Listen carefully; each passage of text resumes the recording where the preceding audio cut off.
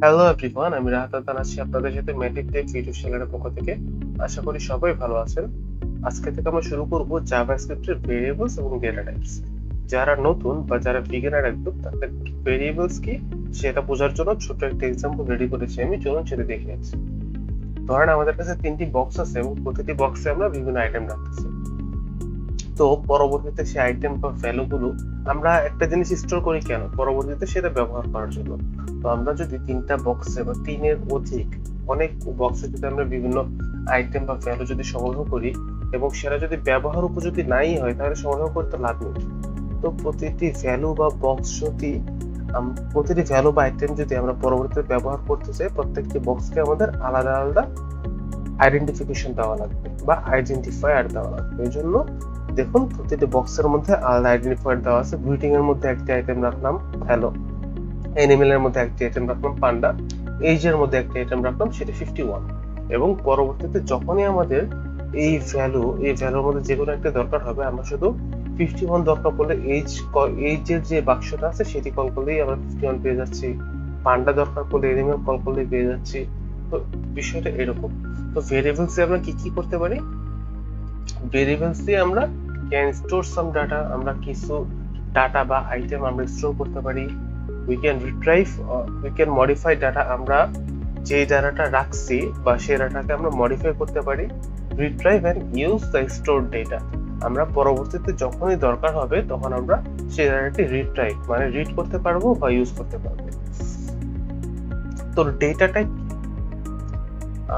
দুনিয়াতে প্রতিটি ডেটার কোনো না কোনো টাইপ থাকে। যেরকম মানুষের বয়স হচ্ছে একটি নাম্বার? সেটা নাম্বার টাইপ মানুষের নাম। নাম হচ্ছে সিকোয়েন্স অফ অ্যালফাবেট সেটাকে আমরা প্রোগ্রামিং এর ভাষায় বলি স্ট্রিং তো প্রতিটি ডেটার আলাদা আলাদা টাইপ থাকে। তো ডেটা টাইপ কি? এই data type in programming is a classification that specifies which types of value simple sense আমি যদি বলি ডেটা টাইপ হচ্ছে প্রত্যেকটি ভ্যালুর আলাদা আলাদা টাইপের ক্লাসিফিকেশন আমরা সেকেন্ড পয়েন্টে দেখলে আরও ভালো করে বুঝব। Data type of a variable define the type of that individual data একটু আগের এক্সাম্পলটা আমি একটু উদাহরণ হিসেবে দিই। যখন এইজ দিয়েছিলাম এইজের মধ্যে কিন্তু আমরা ফিফটি ওয়ান নাম্বারটি রেখেছিলাম। এটা হচ্ছে একটা নাম্বার টাইপ আবার যখন নেমের মধ্যে যখন আমরা যে ভেরিয়েবলটি সরি গ্রিটিং এর মধ্যে আমরা যে ভেরিয়েবলটি রেখেছিলাম, সেটা হচ্ছে স্ট্রিং টাইপ কারণ সেটি সিকোয়েন্স অফ ক্যারেক্টার তো সাধারণত আমাদের কাছে কি কি ডেটা টাইপ আছে বা একটা ইনফরমেশনের কি কি ডেটা টাইপ হতে পারে সেগুলো একটু দেখে নিই। জাভাস্ক্রিপ্টে দুইটি মেজর টাইপ আছে প্রিমিটিভ এবং নন প্রিমিটিভ টাইপ প্রিমিটিভ টাইপের মধ্যে আছে string number big integer big integer হচ্ছে নাম্বারই কিন্তু অনেক বড় কোনো নাম্বার সাধারণত বিগ ইন্ট বলা হয় বুলিয়ান বুলিয়ান হচ্ছে একটা ভ্যালুর সত্য আর মিথ্যা। বুলিয়ান সবসময় দুইটা ভ্যালু হয়। কোনো একটি স্টেটমেন্ট কি সত্য? সত্য না হলে কি হবে? মিথ্যা। দুনিয়াতে সবকিছু হয় সত্য, না হলে মিথ্যা। তো বুলিয়ান হচ্ছে সেটা ডিফাইন করে আনডিফাইন্ড এবং নো না, সেটা আমি ইনশাল্লাহ কোডিং পার্টে বুঝব। আর নন প্রিমিটিভ টাইপ একটি কথা বলে রাখি, যারা বিগিনার তারা এখন না বুঝলে ইনশাল্লাহ পরবর্তীতে বুঝতে পারবেন। Every non primitive type is in JavaScript is object জাভাস্ক্রিপ্টে যেটাই নন প্রিমিটিভ টাইপ সেটাই অবজেক্ট তবুও নন প্রিমিটিভ টাইপকে আবার দুইটি ভাগে ভাগ করা হয়েছে অবজেক্ট এবং অ্যারে ইনশাল্লাহ পরবর্তী পরবর্তী ভিডিওতে আমরা যখন কোডিং শুরু করব, তখন আমি আরেকটু ভালো করে বোঝানোর চেষ্টা করব JavaScript type system. JavaScript is loosely typed. Variables in JavaScript are not directly associated with any particular value type. এর মানে কি, বন্ধুরা জাভাস্ক্রিপ্টে আপনার কখনো কোনো টাইপ আপনার স্পেসিফিক্যালি বলে দিতে হবে না। আপনি শুধু ভ্যালুটি অ্যাসাইন করবেন under the hood JavaScript engine ও নিজে বুঝে নেবে যে আপনি কোন টাইপের ডাটাটি অ্যাসাইন করছেন ও নিজে নিজে সেটা বুঝে নেবে, সেটার দায়িত্ব আপনার উপর পড়বে না। তো একটি ভেরিয়েবল কীভাবে ডিক্লেয়ার করা লাগে জাভাস্ক্রিপ্টে প্রথমে একটি কিওয়ার্ডস দেওয়া লাগবে, পরে আইডেন্টিফায়ার দেন হচ্ছে is equal to operator then value একটু বেশি বলে ফেললাম, চলুন একটু স্পেসিফিক হয় কিওয়ার্ডস কি? কিওয়ার্ডস ইনশাআল্লাহ পরের ভিডিওতে আমরা, পরের স্লাইড আমরা দেখতে পারব। তারপর হচ্ছে আইডেন্টিফায়ার আইডেন্টিফায়ারটা কি?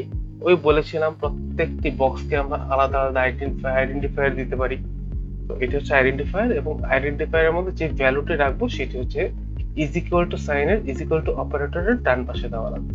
ইনশাআল্লাহ কোডিং ভিডিওতে আরও ভালো করে দেখাবো। মানে পরবর্তী ভিডিওতে। তো কিওয়ার্ডসগুলো কি কি দিয়েছে জাভাস্ক্রিপ্ট আমাদের? চলুন তা দেখে আসি। জাভাস্ক্রিপ্ট আমাদের বাই ডিফল্ট জাভাস্ক্রিপ্ট তিনটি টাইপ দেওয়া আছে এবং আমরা অ্যাডভান্স লেভেলেও বা আপনাদের জাভাস্ক্রিপ্ট ক্যারিয়ারে সবসময় এই তিনটি টাইপ দিয়ে আপনাদের ডেটা বা যে কোনো ভেরিয়েবল ডিক্লেয়ার করতে হবে। সেই তিনটি টাইপ কি কি? Var let এবং const. তো চলুন ছোট করে এগুলোর স্পেসিফিকেশন হালকা দেখে নেন ইন ডেপথ ইনশাআল্লাহ পরবর্তী কোনো ভিডিওতে আমি বলব।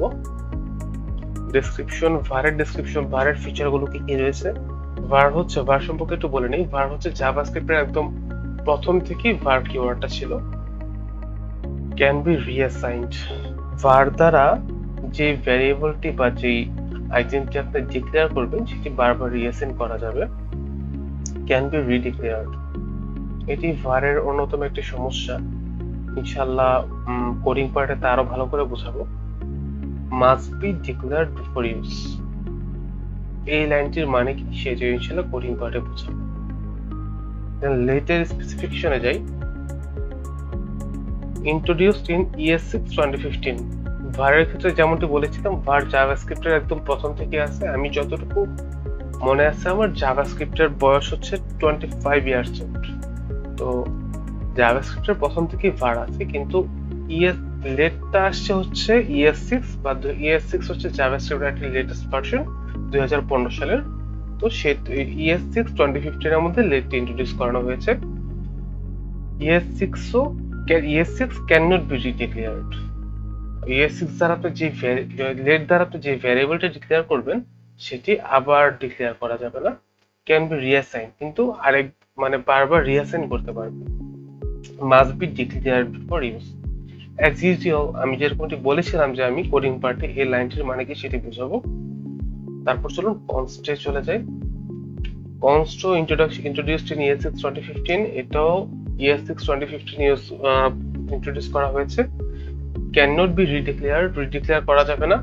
Can not be reassigned reassign করা যাবে না? কেন? বা কি কারণ সেটি ইনশাল্লাহ কোডিং পার্টে বোঝাবো। বা ডিক্লিয়ারেশন কি অ্যাসাইনেশন কি সেগুলো ইনশাল্লাহ কোডিং পার্টে হালকা করে বোঝাবো। Must be declare before use এটি ইউজুয়াল ইনশাল্লাহ কোডিং পার্টে বোঝাবো। এই এই মেজর চেঞ্জগুলো ছাড়াও আরেকটি বড় চেঞ্জ আছে, var লেট এবং কনস্টের মধ্যে। Var হচ্ছে গ্লোবাল স্কোপ বা ফাংশন ফাংশন স্কোপ লেট হচ্ছে ব্লক স্কোপ এবং কনস্ট ব্লক স্কোপ স্কোপ কি let কনস্টের ইন ডেপথ আন্ডারস্ট্যান্ডিং নিয়ে ইনশাল্লাহ আমরা অপারেটর এবং ফাংশন বোঝানোর পরে পরে আমরা let কনস্ট এবং স্কোপে ইন ডেপথ আলোচনা করব। তো এই ছিল এই ভিডিওতে। ইনশাআল্লাহ নেক্সট ভিডিওতে আমরা কোডিং স্টার্ট করব।